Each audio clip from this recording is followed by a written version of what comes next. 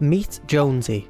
Jonesy is not the most skillful player at Call of Duty currently, sitting at an average of 1.5 KD, but he has courageously offered himself up to be a part of this brand new series where we try to take an average player to a sweat through Call of Duty coaching. By the end of this bootcamp is to turn Jonesy from an average of a 1.5 KD with only 4 kills per game in Warzone into a bare minimum of a 2 KD with 6 kills per game, then progressively moving him closer to a 3 KD mark with at least 8 kills per game on average. If you want to follow Jonesy on his journey from an average player to a sweat, please like this video as it does truly help. And if you want to book in for your own coaching sessions, please follow the link to my Discord in the description to get booked in. To become a sweat at Warzone we need to work from the ground up. Just like a professional football player practices their passing with passing drills even though they know how to pass, we're also going to be doing that with Jonesy here. To start this we're going to begin with a quick 1v1 on shipment so I can gauge Jonesy's general gun skill ability as well as watching how he performs in one-on-one -on -one scenarios. To do this we're going to have a good old fashioned 1v1. This will help us get warmed up, give a baseline score for him to beat next time, as well as letting me throw in some different gunfight scenarios to see how he copes.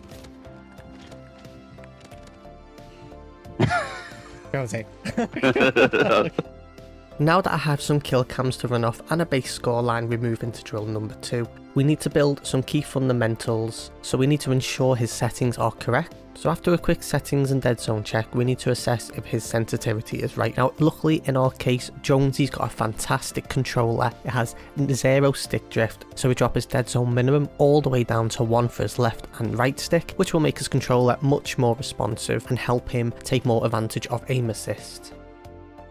The reason we're going to be first checking the sensitivity is there's no point building up his ability if his sensitivity is too low or high and he's too reliant on aim assist and is struggling to do the key fundamentals such as centering and flicking which going to look at later on in the drill.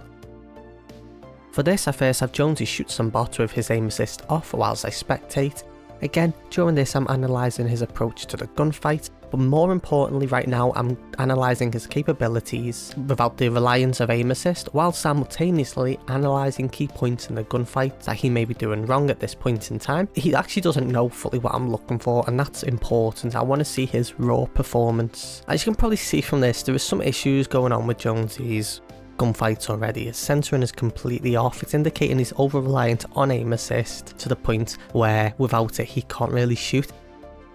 So the next stage for me now is to check his centering ability with his current sensitivity settings. So we have him do a simple drill. His goal here is to pretend the blue window is an enemy and also the blue door and he's going to center on each from left to right, right to left at a speed you would do during an actual gameplay. As you can see we're already noticing some flaws, watch as he flicks to the target on the right and you can see what's wrong, there's consistently overshooting on his center dot and it's going outside the target. Now yes we could argue in a real life scenario aim assist would support but the point here is to reduce your reliance on the aim assist so that when in action, your shots are as accurate as possible. After a quick little discussion with Jonesy on this, we both agree his sensitivity may be a little too high for him, so we just knock it down by one and we get him to run the drill over again.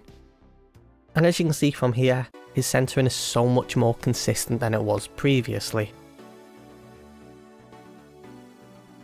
Now that we've found the sensitivity that Jonesy is much more consistent on when it comes to centering, we're going to be trying this out in a real life environment with moving bots. So next I just load up a TDM with some friendly bots. Jonesy's one goal in this drill is to keep his centre dot around the stomach to chest level of the bots as they're running around the map. He's going to be swapping from bot to bot and he's just going to get a feel of the new sensitivity and we're just going to watch and just see how he does one thing I did notice when Jones is trying to track the target through hipfire is he's quite stuttery at times when he's moving left to right on the tracking. He'll do micro adjustments opposed to one smooth motion, which is something we do touch on as well. And we try and get him in the habit of making it a smooth motion. Once we're happy with seeing this with Jones, it's time to just dial in his ADS sensitivity. So we just run the first drill on the window and the doorway again, except this time it's going to be aimed down sight. And to wrap up the drill, we're just going to test it vertically as well and have them look up and down. And once we're happy with that, it's time to move on to the next drill. Next we need to work on Jonesy's movement. For that I just get him to run around and just do some slide cancels around the map. Jonesy informed me that to do a slide cancels he does crouch crouch. So we just run over how to do slide cancelling properly on this game which is crouch then jump. And that'll get you a smooth slide cancel. Once he's gotten the repetition to doing that, we get him to incorporate some longer slide cancels into his movement as well, as all the slide cancels were always consistently short. So once he breaks into that habit, we're now going to move into some movement drills. So for our first movement drill, what we're going to have Jonesy do is practice shoulder peeking from a slide cancel. To do this, we're staying in private match, and as you can see from this drill, all he is doing is practicing cancelling the slides at the edge of a wall so that only half his body is peeking. Once he gets used to that, we then incorporate his centering back into this movement by having him center on the target that you can see in front of him there. After this, we move on to bunny hops. To do this, we start by breaking it down and keeping it simple, and at first, all we do is have Jonesy jump once on the spot while practicing aiming at a target and just get him in the repetition of that. Once he gets used to jumping twice and keeping his character's momentum going in the same direction he was originally sprinting, we then have him aim at the target as well and just practice his centering again with this movement. And then we move on to some other basics. We got drop shots as well as snaking and this is stuff Jones is also going to be having to practice in his own time. So you can't get really good at this just in one session, but these are just real quick drills to get him in the habit and he will be practicing this in his own time and get building up that muscle memory. But guys, that is it for our first session with Jonesy. I'm going to play out some clips Jonesy sent me from a VOD review that we're going to be doing in a future video. We'll be running weekly sessions with him and we'll be going through a lot more than just the basics we ran through in this video. This again is just to make sure we start with a nice groundwork. If you want to get your own coaching, make sure you get in the Discord link below. If you're looking to get your Warzone rank account up as well, maybe you're currently like a silver gold and your friends are all in diamond and you can't play with them at the moment or you're just struggling at the moment, make sure to also jump in the Discord for that as we also do have account rank boost and services in there and I'll catch you next time.